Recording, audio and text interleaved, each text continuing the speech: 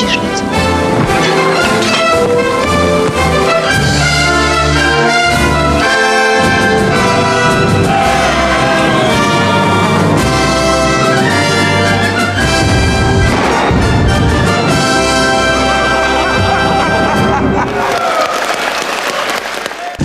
No i wpadłaś. Ja? A może to ty wpadłeś? Ja to sam chciałem. Wyjścia nie ma. A ja się troszkę boję. Czego? No, że nie ma wyjścia. Znajdziemy Julkę. Poszukamy. Bolek. Ale będziemy uważać. A co? Na siebie. Żeby się nie zranić. Bo wiesz, ty jesteś kosa, a ja?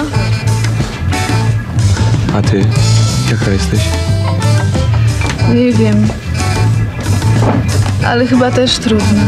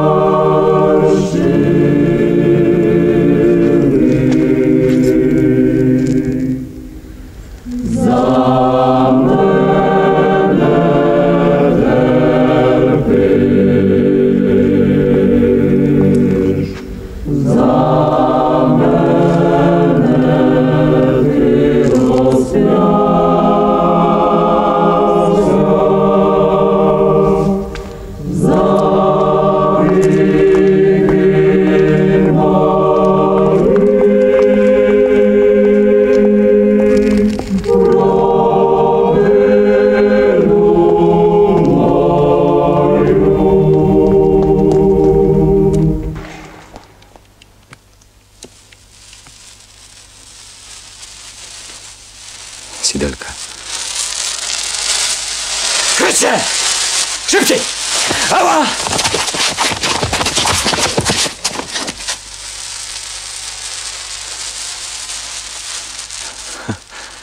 To już?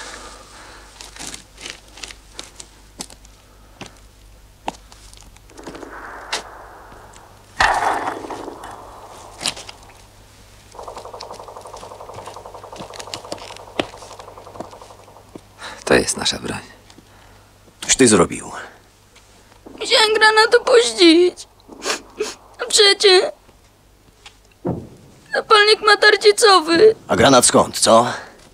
Granat dostałem od pana podchorążego. Co? Nasza broń. Wiedziałem, jak to się robi. Dziewczyny materiał wybuchowy przekręcają przez maszynkę do mięsa. Biorą konserwę, gwoździki i masz, bracie, granat.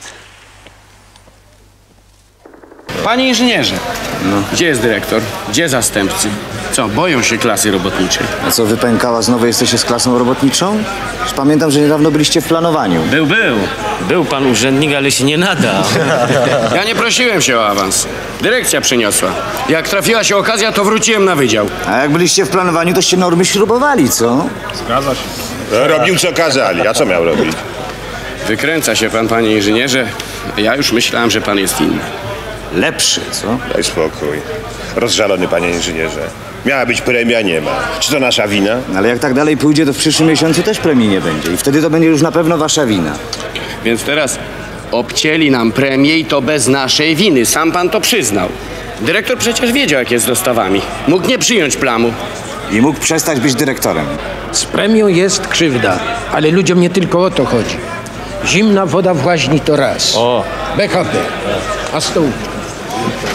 O, przepraszam, inżynierze. Nie szkodzi. Co pan o tym sądzi, panie kolego? No cóż, dopiero zaczynam pracować. Myślę, że oni mają sporo racji. Trzeba tu wiele zmienić. A zacząć trzeba od góry. Przepraszam. Pan też przecież jest kierownikiem wydziału. No nic, myślę tak samo jak pan. O, cis. Związek się ruszył.